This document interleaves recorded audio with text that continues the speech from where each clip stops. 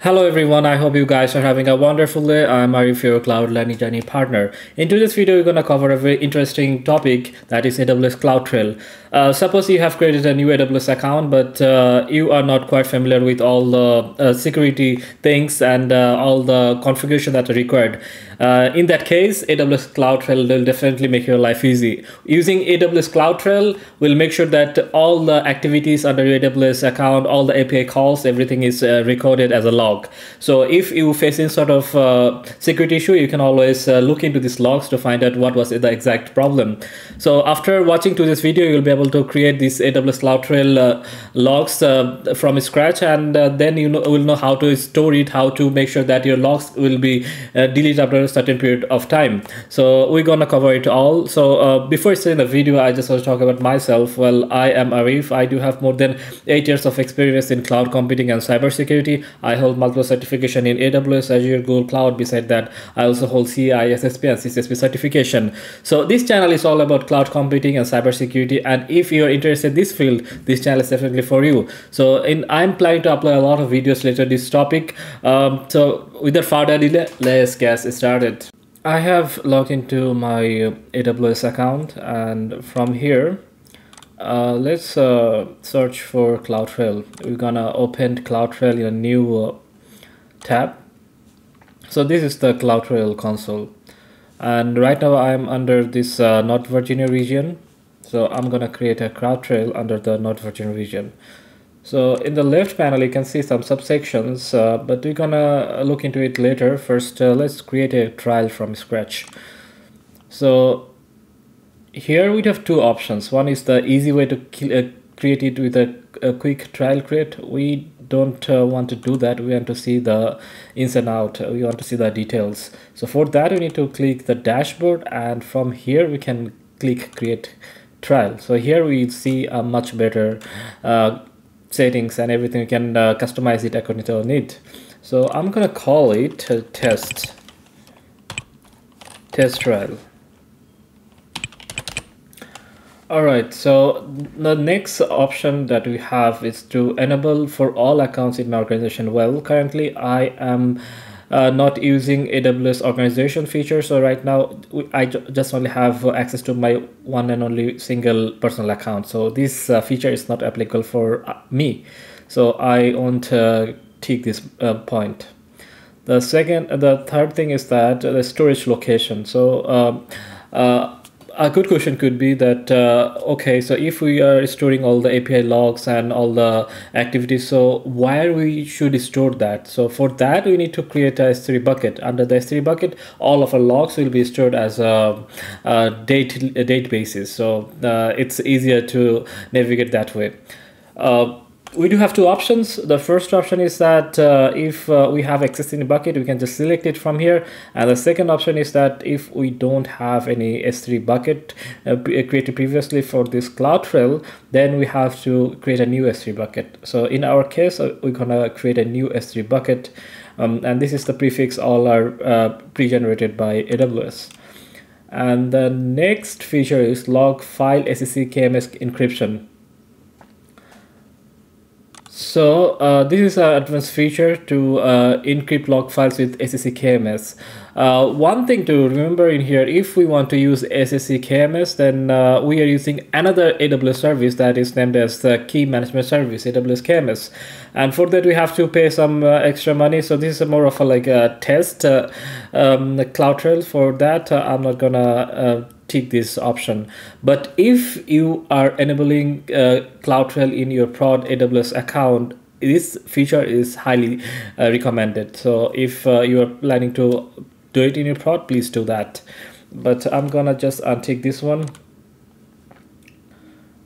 Okay, and then the additional settings, so log file validation.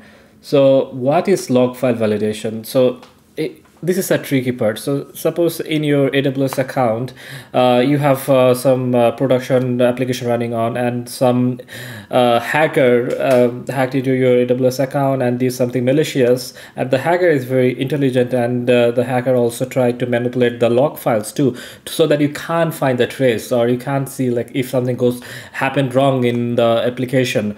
So uh, it, it is a very common practice if the hacker is very intelligent. So how you can remediate that? If you enable this uh, log file validation so for every single log some sort of hash value will be created. So, and uh, you can uh, if you've kind of doubt that something happened, you can always check your log file against these hash values to find out whether your your log files were manipulated or somebody altered it. Isn't it cool? So if you, once you do it, then there is no chance that the hacker can uh, um, erase all the tracks of uh, uh, activity that shouldn't be under your AWS account. So it's always better to enable this feature and we also have a feature to an SNS notification delivery. So if we also want to uh, create a notification system uh, we can also do that. So whenever uh, for a for certain sort of events we can also deliver notification um, so we will be alerted for any sort of this event. For this tutorial i don't want to enable this feature so i'm just gonna untick this option.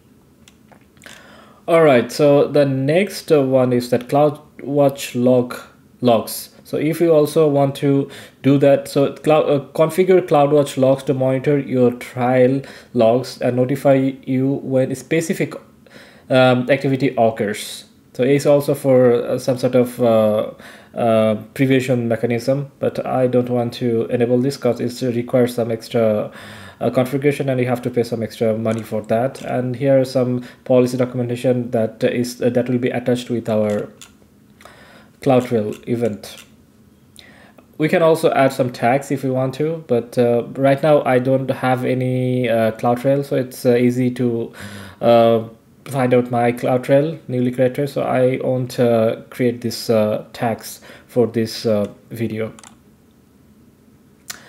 The next uh, section here we do have uh, this option choose log events. So we have multiple type of log events. Like event type could be a management events event could be a data events event could be a insights events.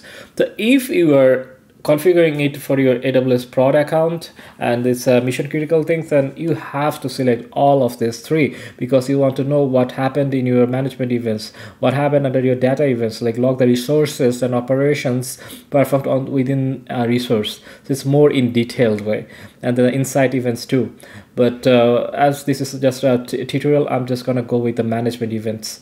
And under management events, here we do have a few uh, variations too, like the API, API activities. We have read activities, write activities. We can also uh, check this one like exclude AWS KMS event. A good question could be why should uh, we exclude AWS KMS event? Earlier I mentioned KMS stands for Key Management Service. So whenever we are dealing with any cryptography configuration, we always want to make sure that it's very secure, it's confidential. If we uh, log those maybe some very confidential information about the key name or the key pair or any sort of like the algorithm that was used can be exposed. If you want to make sure that uh, uh your uh, events your management events doesn't contain this sort of uh, critical information then it's always a good practice to exclude aws kms events.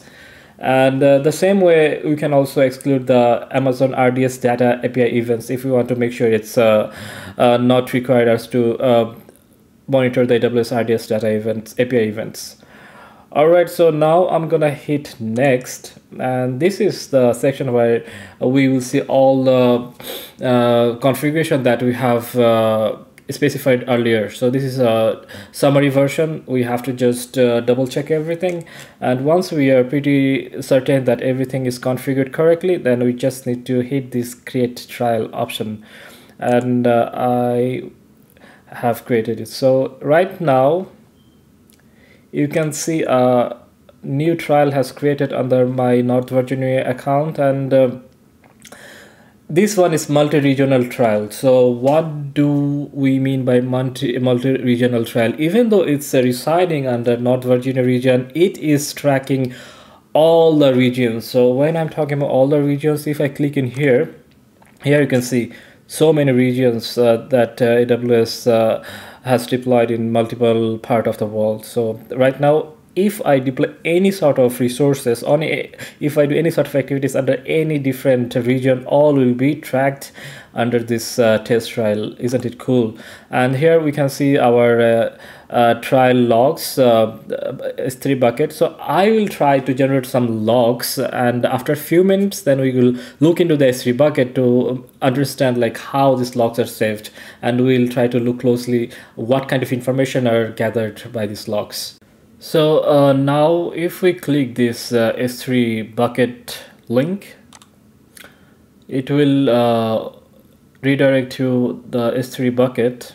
So this is the bucket and under the bucket a new folder was created uh, that is AWS logs. And uh, this is uh, the number. You can see this uh, the same number in here. So this is this means the account ID so if I click in here we do have two more folders. One is CloudTrail digest and another is CloudTrail and we're gonna click this CloudTrail and uh, here you can see there are two options. One uh, two folders again because CA Central is for um, the Canada region and US East one is for uh, US uh, region. And under 2023 10th is the month and 8 is the date. And here you can see um, we do have the logs. So in this way every time any sort of API calls under AWS account any sort of activities will be logged under this CloudTrail so it not only just help you to uh, have a track but also sometimes if you want to comply with some uh, compliances and uh, standards like ISO 27001, GDPR, uh, PCI DSS, you really need to store these logs. So this CloudTrail really helps to make sure that you are uh, following the standards that are required to follow. Congratulations guys for reaching this far of this video. Today we covered a very important uh, topic that's AWS uh, CloudTrail, how to track AWS uh, activities under a specific S3 bucket, how to log all of these activities. So uh, if you guys have any questions or any doubt related to this uh, CloudTrail, please let me know in this comment section and I'm gonna reply back in a very short period of time. Uh, thank you so much guys for watching my videos. It means a lot to me. if you want me to cover any specific topic related to IT, cybersecurity, or even for uh, career advice, let me know under this comment section and I will definitely reply back. If you found this video helpful, please uh, like and subscribe to my channel so that you can see my upcoming videos. I have tons of videos and topics to cover in future. Um, thank you so much guys. That's all for today. Have a great and wonderful day.